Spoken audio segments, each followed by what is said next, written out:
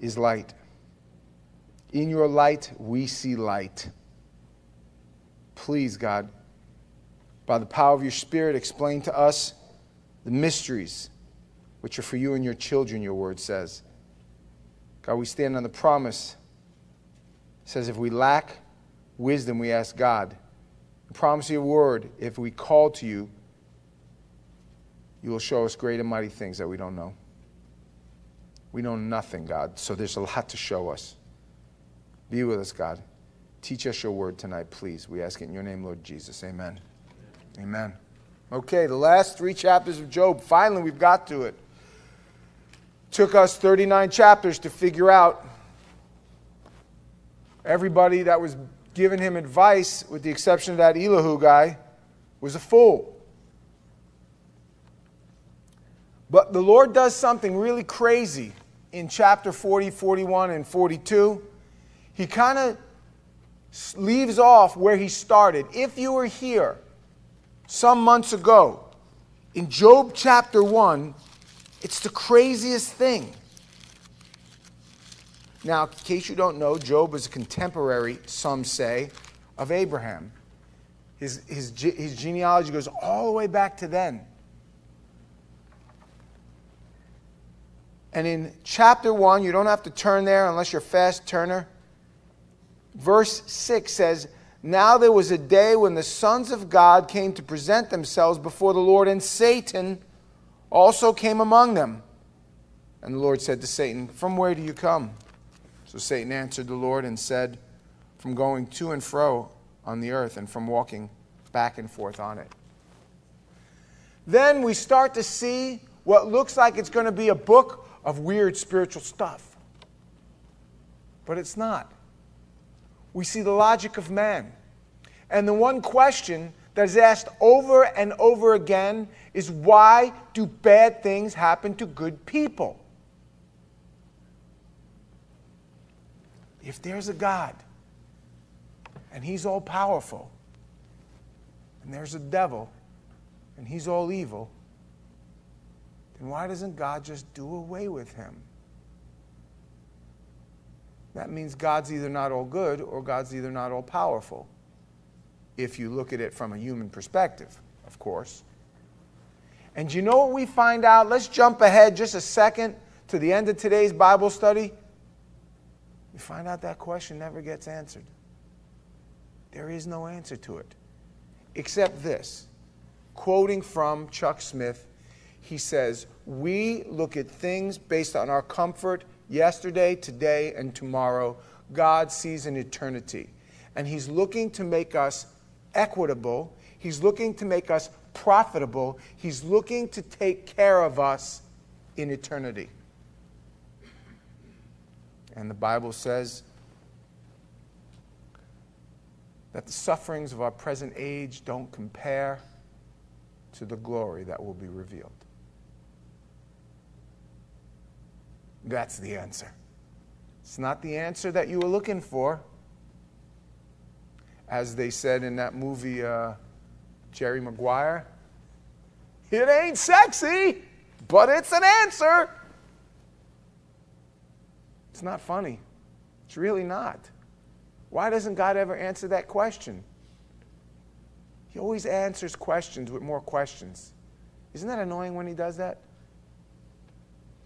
With that introduction, Moreover, the Lord answered Job, verse 1, chapter 40, and said, Shall the one who contends with the Almighty correct him? He who rebukes God, let him answer it. Please give me your attention. If you go back just a couple of chapters, Job telling his friends, If I was granted an audience with God, a court before the king, if I can just have a minute to talk to him. I would plead my case and he would find me innocent. You guys remember? Well, guess what happened? You know the old saying, you better be careful what you wish for because you might just get it? Here we go. I see a lot better with these. Then Job answered the Lord and said, Behold, I am vile What shall I answer you? I lay my hand over my mouth. Once I have spoken, but I will not answer. Yes, twice, but I'll proceed no further. Then the Lord, now, you know what, before that, if you look through the Bible at all the men who have actually had an audience with God, I want you to think about them. Peter, exposed to the Lord for the first time, what did he say? I am a man undone. Depart from me. Wouldn't even lift his face to look at him. Isaiah. Do you remember anybody remember what Isaiah said? Isaiah, if you pronounce it in the original, he said, Woe unto me, for I am a man undone. I'm a foul mouthed man amongst foul mouthed people. You know what the crazy thing about the Lord is for human beings? He's a mirror. He is a mirror. And the more you see God and the clearer you see God, the clearer you see yourself for what you really are. And you know what we really are? Horrible, sinful, weak.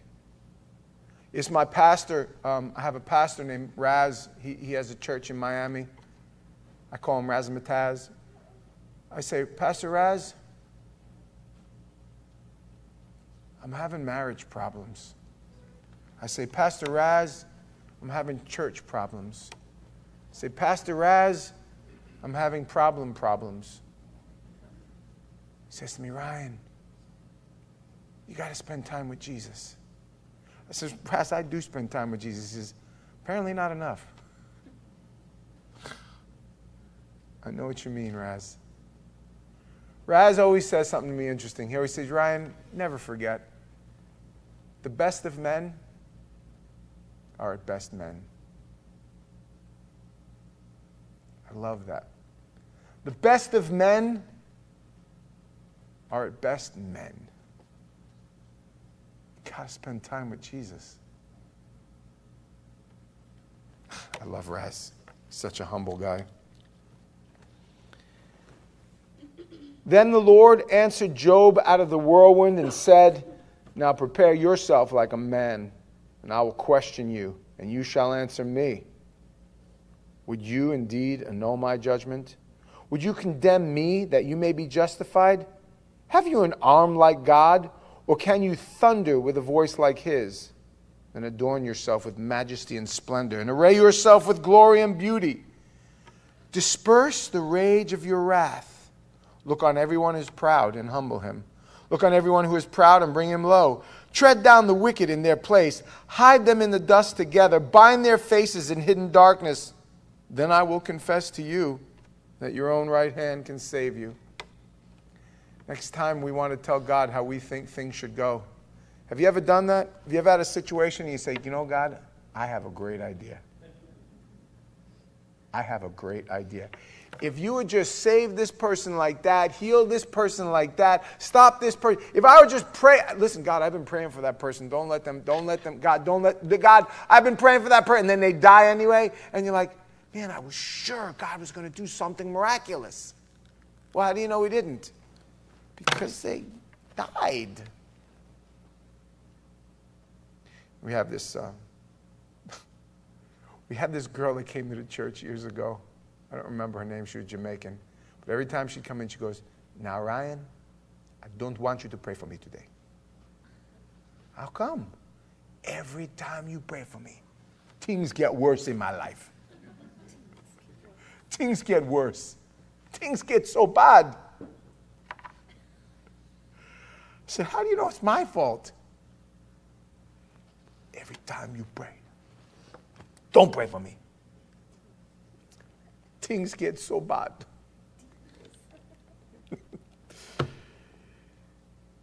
so next time you tell God what he should do, then you do a few of these things that he's talking about. You know, humble the prideful. And I love I love verse 11.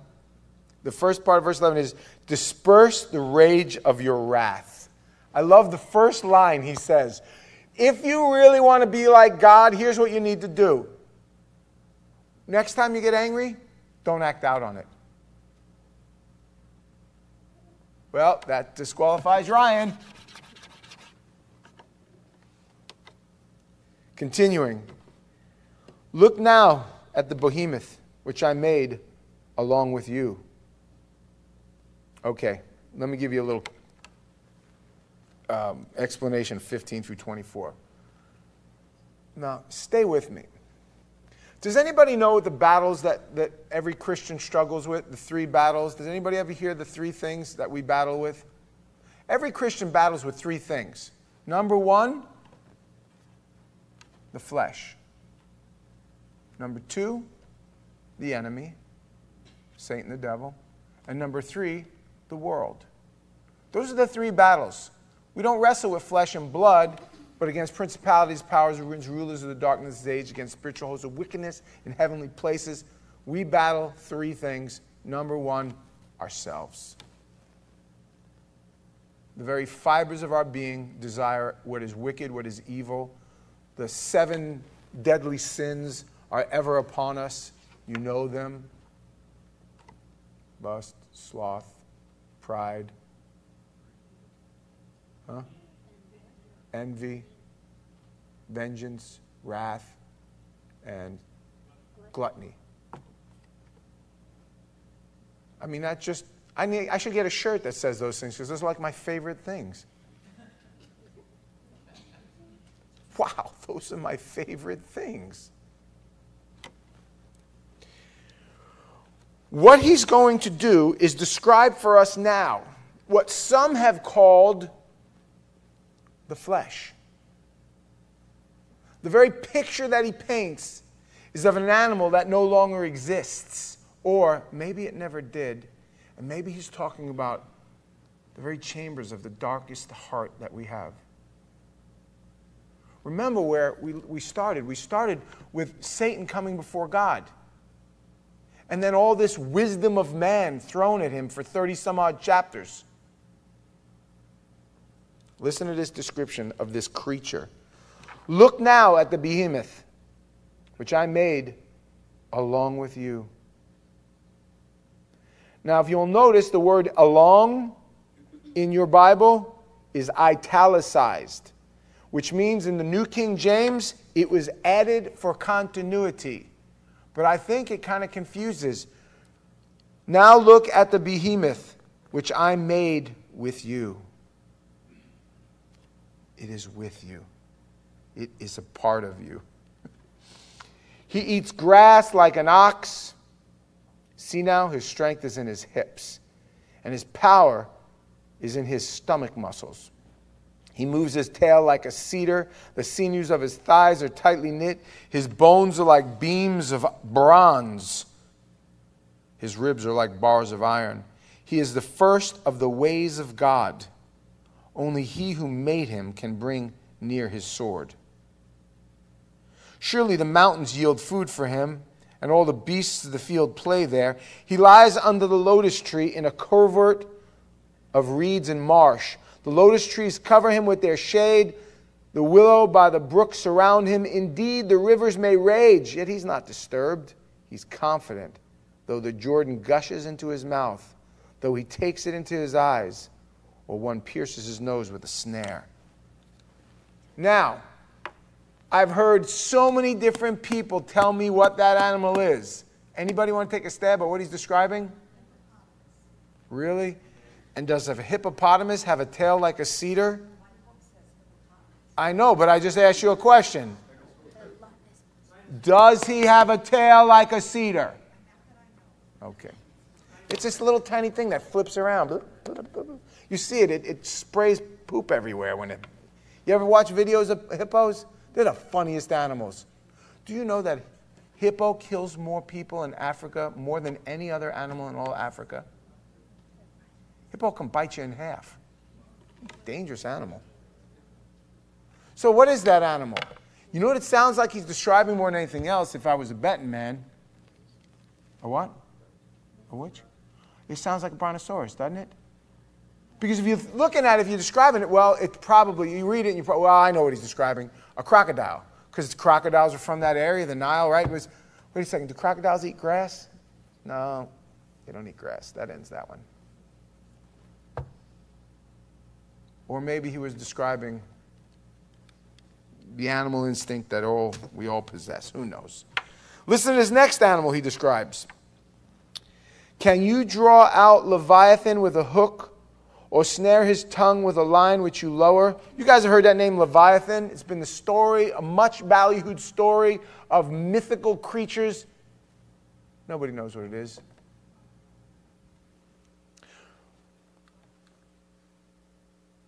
What does your book say? A Leviathan's a crocodile. Who wrote your book? There you go. There's your first problem. Can you put a reed through his nose or pierce his jaw with a hook? Will he make many supplications to you? Will he speak softly to you? Will he make a covenant with you? Will you take him as a servant forever? Will you play with him as with a bird? Or will you leash him for your maidens? Will your companions make a banquet of him? Will they apportion him among the merchants? Can you fill his skin with harpoons or his head with fishing spears? Lay your hand on him. Remember the battle. Never do it again. Indeed, any hope of overcoming him is false. Shall one be overwhelmed at the sight of him? No one is so fierce that he would dare stir him up. Who then is able to stand against me? Who has preceded me that I should pay him? Everything under heaven is mine. Now, I want you to really pay attention to the next few verses, which he continues to describe, which we think he continues to describe this sea creature. But I want you to tune in. I will not conceal his limbs, his mighty power, or his graceful proportions. Who can remove his outer coat? Who can approach him with a double bridle? Who can open the doors of his face with his terrible teeth all around? His rows of scales are his pride, shut up tightly as with a seal. One is so near another that no air can become between them. They are joined one to another. You see, that's first reason why it can't be a crocodile. You ever see the belly of a crocodile? Oh, it's smooth. It's nice. They are joined one to another. They stick together and cannot be parted. He, now, listen to this. His sneezings flash forth light, and his eyes are like the eyelids of the morning. Out of his mouth goes burning lights, sparks of fire shoot out. Smoke goes out of his nostrils as from a boiling pot and burning rushes. His breath kindles coals, and a flame goes out of his mouth. Strength dwells in his neck, and sorrow dances before him. The folds of his flesh are joined together, they are firm on him and cannot be moved. His heart, stay with me now, guys, his heart is stone, even as hard as the lower millstone. When he raises himself up, the mighty are afraid because of his crashings. They are beside themselves. Though the sword reaches him, it cannot avail, nor the spear, dart, or javelin. He regards iron as straw and bronze as rotten wood. The arrows cannot make him flee. Sling stones become like stubble to him. Darts are regarded as straw. He laughs at the threats of javelin. His undersides are like sharp potsherds. He spreads pointed marks in the mire. He makes the deep boil like a pot. He makes the sea like a pot of ointment. He leaves a shining wake behind him. One would think that the deep had white hair. On the earth there is nothing like him, which is made without fear. Watch now. Here it is. He beholds every high thing. He is king over all the children of pride. Now, who would he describe? How did we go from describing this behemoth, this Leviathan now, to he is king over the children of pride? First battle is the flesh, that behemoth. That flesh is tough. The second battle, it's the enemy of our soul. If you would keep your place here, we will come back. Turn just a few pages to the right to Isaiah chapter 27. I want to show you something here that starts to make a little bit of sense.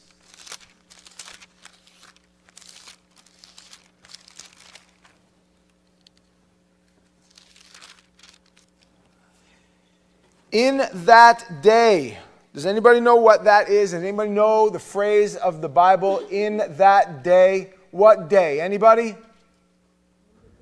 The day of the Lord. That great and terrible day. The day that he finally puts our enemies under his footstool. The day of the Lord will come as a thief in the night. The day of the Lord. The day of the Lord. That is what he's talking about, Isaiah. In that day, the Lord, with his severe sword, great and strong, will punish Leviathan, the fleeing serpent. Leviathan, that twisted serpent, and he will slay that reptile that is in the sea.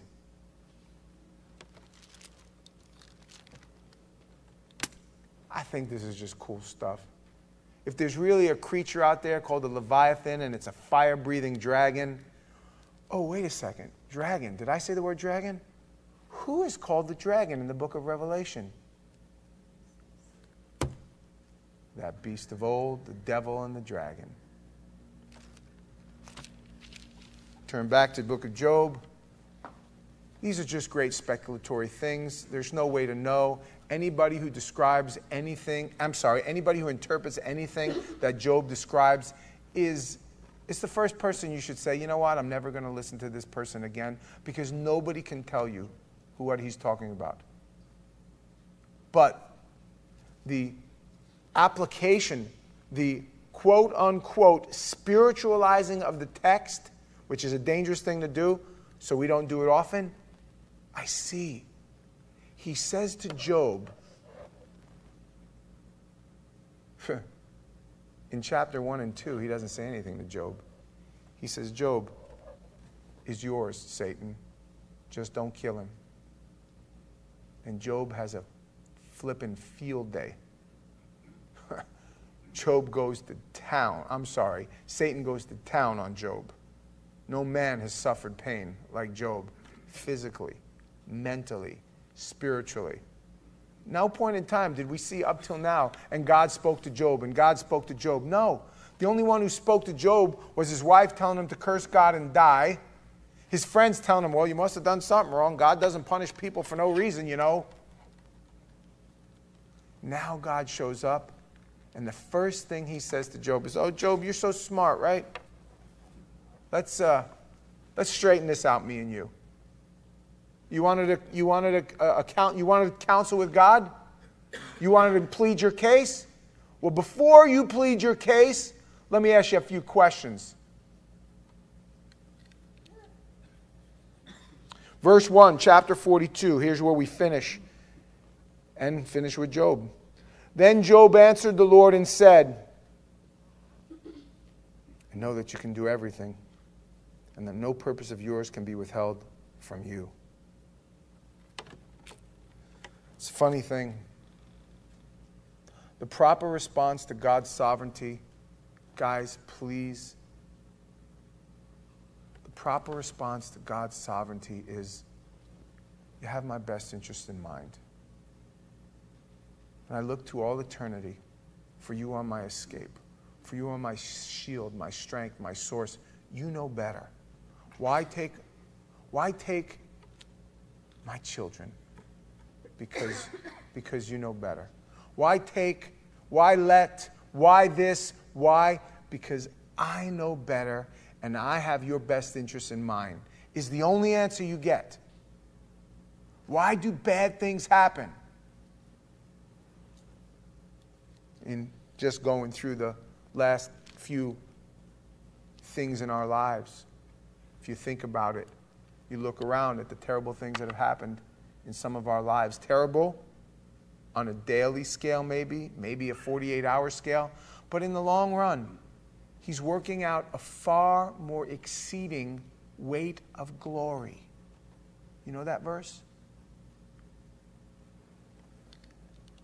Job finally figures it out. Like he figured out from the beginning, like he knew. You asked, Who is this who hides counsel without knowledge? Therefore, I uttered what I did not understand, things too wonderful for me, which I did not know. How does a man who lost 10 children, goodness knows how many months he's been sitting scratching the boils off his skin, How does a man like that look at God and, and say, I, I utter things which are too wonderful for me? How? Man, there's some major faith going on. This guy's amazing. This, I, I'd, I'd put him in that category of the A word that I, I rarely use for people. He's awesome. Job's awesome.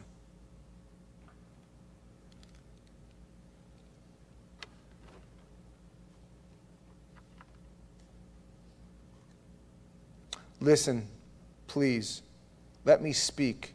You said, I will question you, and you shall answer me. I have heard of you by the hearing of the ear, but now my eyes see you.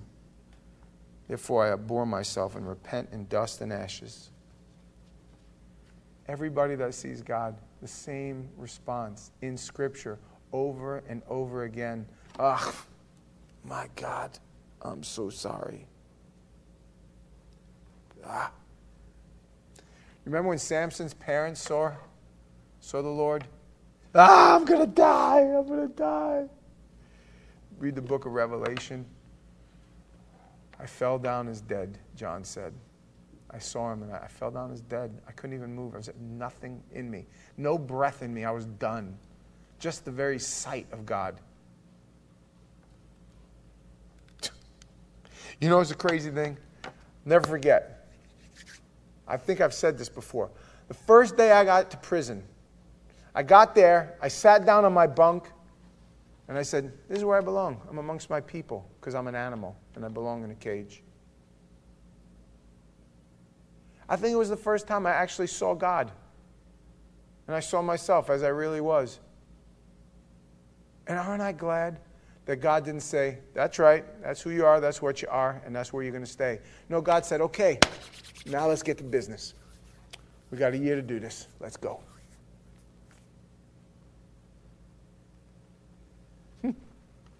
Not bad. And so it was, after the Lord had spoken these words to Job, that the Lord said to Eliphaz the Temanite, My wrath is aroused against you and your two friends. I love you didn't mention this. You and your two friends. For you have not spoken of me what is right, as my servant Job has. Now, any pastor that has ever quoted from the book of Job and ignored the seventh verse of the 47th chapter, I fear that they will hear that exact same admonition from God. Do you know how many people use the words of the men that tried to discourage Job from life? Job is not the. Remember, all through the book of Job, we've been looking at for the last few months, and I've said to you guys all the same thing. Listen, don't, listen to that. Don't, that's not true. That's, don't pay attention to that. Don't, you might have asked yourself, wait, if it's the Bible, if he's reading the Bible, why does he say don't listen to that? Because of this verse. Listen again. My wrath is aroused against you and your two friends, for you have not spoken of me what is right as my servant Job has. Now, therefore, take for yourself seven bulls and seven rams, and go to my servant Job, and offer up for yourselves a burnt offering, and my servant Job shall pray for you, and I will accept him, lest I deal with you according to your folly, because you have not spoken of me what is right, as my servant Job has. Hey, let me tell you something, guys. You might not know this, but you hear that teach the word of God you guys that go to the um, convalescent homes, you guys that are going to go into prisons, uh, you guys that teach at other churches, any play, any guys you, you do uh, funerals or mem- memorials, you heed this verse and you heed it well. You be careful, lest you have nobody to pray for you. I worry about the men who have passed on from pastor to fallen angel, so to speak, where they say now, who are you going to go to pray for you? I hope you got somebody to pray for you when the time comes. Pastor, fill in the blank, because you have not spoken of him what is right. Man, I tell you what, every time I step up here, I get too out of hand with myself. In case you don't know what tomorrow morning looks like, let me let you know. 6:30 because they set the clocks back. My two little dogs are going to wake up, and my daughters let them outside. And, and here's the line they make: I have, they let them out one door, and then they run to my bedroom door and start scratching on it. And that's what they, they just make this circle. 6:30, and I'm like, oh. Good morning. And the first step out of bed is, God, I hope I I hope I, I represented your word well. I hope I represented your spirit rightly, God. I hope and I pray that you'll forgive me for screwing anything up yesterday. Please. Every single Monday and every single Thursday, I start that prayer. Because woe unto me when I think I can do anything without God. I might have never told you this story, but I have a very close friend who, who um, he fell into uh, infidelity. He was a very close pastor of mine about 20, 22, 23 years ago. He's since been restored, thank God. But he showed up to my work right after it happened, maybe six months after it happened. And I looked at him and I said, Dude, why? And he looked at me and he goes, Ryan, I woke up one day and I told God what I was doing for him. I woke up one day and I looked at God and I said, Look at what I'm doing for you. I'm preaching your word. I'm leading people to. I, I started telling God all the things I was doing for him. It was all downhill from there. It was, um, I think it was the Lord Jesus. Yes, it was. The Lord Jesus said in one of the Gospels, He said, He says, Don't tell yourself, I've done this or I've done that. Think to yourself, I'm an unprofitable servant. I've done what my duty was to do. I've only done the minimal. I've done the minimal. You guys remember that parable? I just, it's all coming back to me now. When the guy says, when somebody comes in from the field, do you say to your servant, Oh, sit down, let me serve you? No. You say to your servant, Hey, you know what? You do make me a bowl of food, sit down, you know, put some water out, whatever, and then you can feed yourself. Don't say to God what you've done for him. You've done nothing for God. What have you ever done for God that He didn't give you the ability to do anyway? Dangerous place. So Eliphaz the Temanite, verse 9, and Bildad the Shuhite, and Zophar the Naamathite went and did as the Lord commanded them, for the Lord had accepted Job. And the Lord restored Job's losses when he prayed for his friends. Indeed, the Lord gave Job twice as much as he had before. Then all his brothers, all his sisters, and all those who had been his acquaintances before came to him and ate food with him in his house. And they consoled him and comforted him for all the adversity that the Lord had brought upon him. Each one gave him a piece of silver and each a ring of gold. We looked at first the flesh, then we looked at the enemy, the devil, and now we're looking at the world. And one by one, God has helped Job overcome them. And I ask you a question and this is a question I heard from Chuck Smith say Where were all these people when he was going through his suffering? Or did they wait till he got restored till they started coming back around again?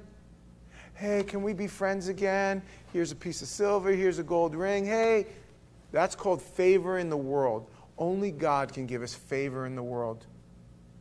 God can look at us and bless us so that the world comes to us and says, What do you got that's different? Why is it that you now, what happened with Job in the world? Think about this. Did the world see Job prosper above them? Um, no.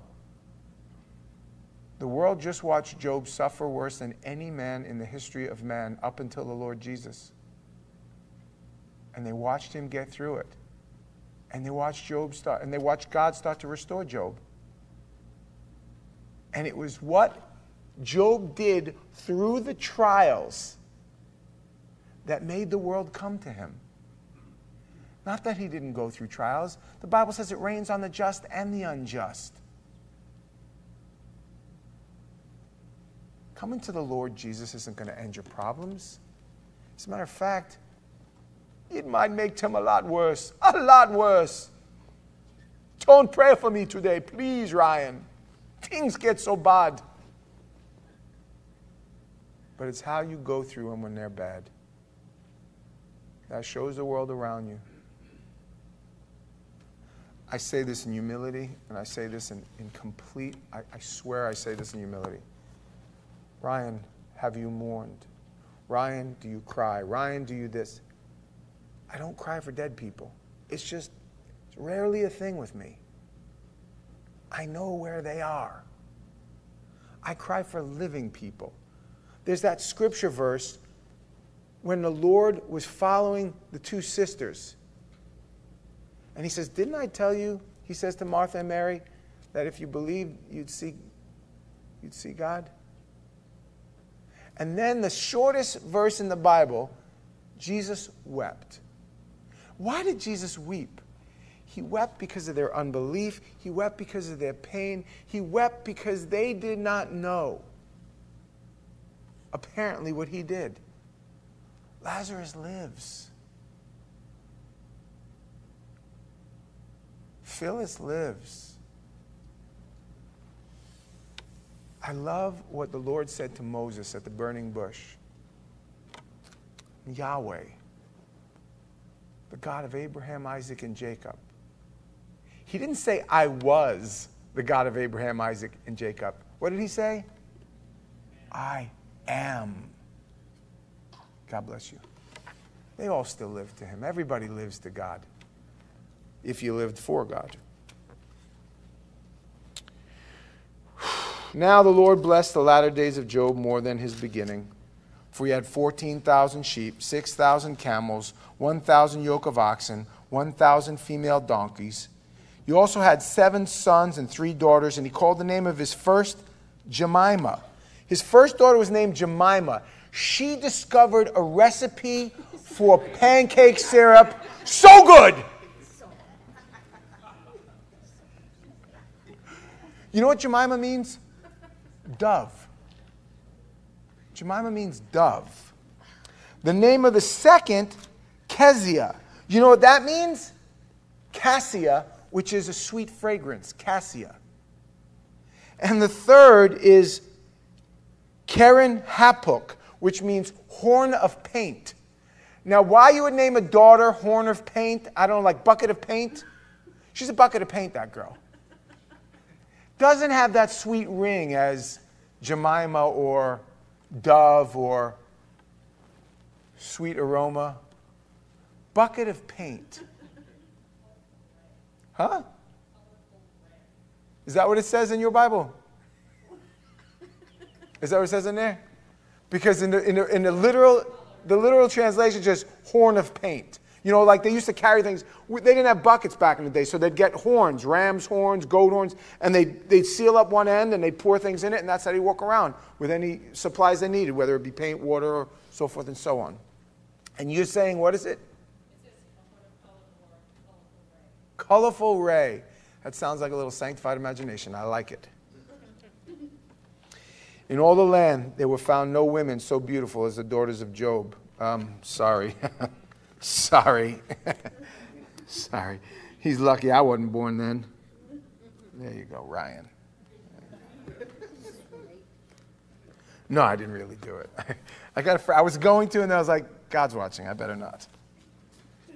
And their father gave them an inheritance among their brothers. And this, after this, Job lived 140 years and saw his children and grandchildren for four generations. So Job died old and full of days. Abraham lived 180 years. Job lived 180 years. He was 40 years old when this happened. He lived another 140 years. Now, scientifically speaking, I can explain to you exactly why men lived a lot longer back then, even after the flood, but that's another Bible study. He saw his great, great, great grandchildren, told them the story of when he was just a young man, how God afflicted him, and how he got through it with the help of a few friends.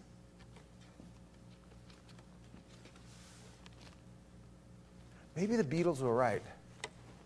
I get by with a little help from my. Nah, sorry. Thus, we got through Job. Now, question for you. We have been going through Psalms on the first Wednesday of every month. And we read like crazy the book of Proverbs all the time. We go through that also. So I'm going to do something a little extraordinary. I've never done this before. We're going to skip Proverbs and Psalms, and we're going to go right to Ecclesiastes. Everybody cool with that?